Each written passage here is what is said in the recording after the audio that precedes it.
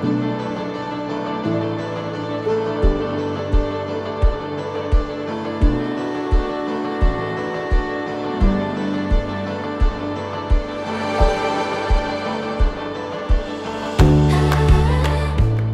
sommes aujourd'hui à Tendu, euh, dans le département de l'Indre, pour l'inauguration du premier pylône mutualisé 4G d'accès à l'Internet mobile dans le département de l'Indre et dans la région Centre-Val de Loire. Ce pylône va permettre euh, aux habitants de la commune de Tendu et euh, aux gens de passage sur l'autoroute A20 d'accéder à l'Internet mobile avec des vitesses de plusieurs dizaines de mégabits par seconde et ce, quel que soit leur opérateur.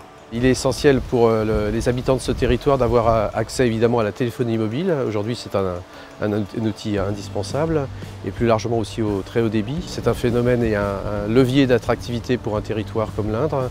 Certaines entreprises sont très favorables aussi à venir s'implanter mais elles le viennent davantage et plus facilement si évidemment euh, elles ont les, moyens technologiques pour le faire. Je crois que là nous sommes à un tournant. Nous sommes à un tournant parce que les gens, après avoir compris que ce département, certes, était un département calme, c'est un département où on peut y faire beaucoup de choses. Pour ça, il nous faut les moyens. Donc il faut qu'on accueille de la jeunesse. Et pour accueillir de la jeunesse, il faut qu'on ait la possibilité de leur offrir des nouvelles technologies. Et là, on est dans l'exemple premier.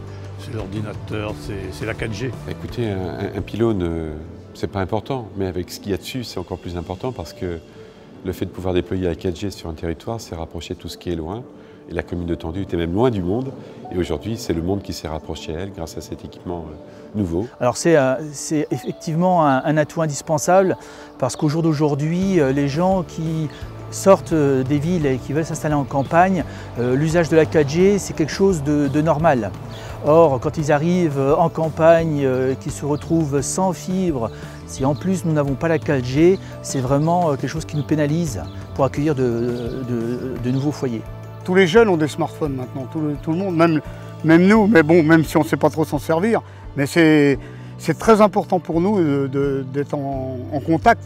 Bah pour une fois qu'on peut être à la pointe de la technologie, c'est génial. Ça peut faire venir des gens qui voudraient peut-être travailler de leur domicile dans des petits coins reculés comme attendu et d'avoir donc la 4G, c'est important. Par rapport à mon travail, avec la 4G, euh, ben, je peux consulter mes mails partout dans l'exploitation. Je peux le faire au milieu de mes chèvres, euh, pendant mon travail dans la salle de traite. La 4G nous, nous apporte beaucoup. La prochaine étape pour la fédération, ce sera d'une part l'inauguration du premier pylône mutualisé 4G d'accès à l'Internet mobile dans le département de la Somme et ensuite le premier pylône d'accès à l'Internet mobile dans le département de la Haute-Savoie, à Montmain, au-dessus du lac d'Annecy.